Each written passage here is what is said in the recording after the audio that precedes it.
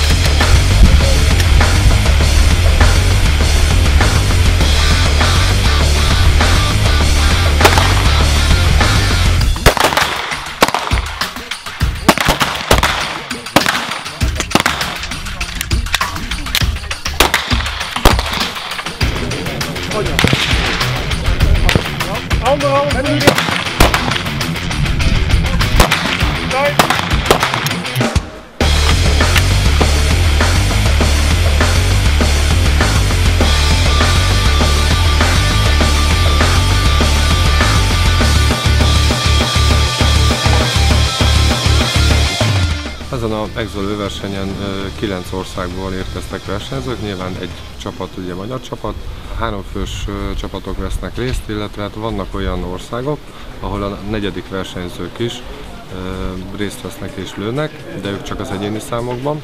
Nem elsősorban a, a gyorsasága az, ami számít, hanem az, hogy biztosan kezeljék a fegyvert, célokat derítsenek, megtalálják azokat a veszélyes eszközöket, amik a szolgálatban rájuk egyébként is veszélyt jelenthetnek, és hát alapvetően az, hogy sokat lőjenek, a lőkészségük fejlődjön.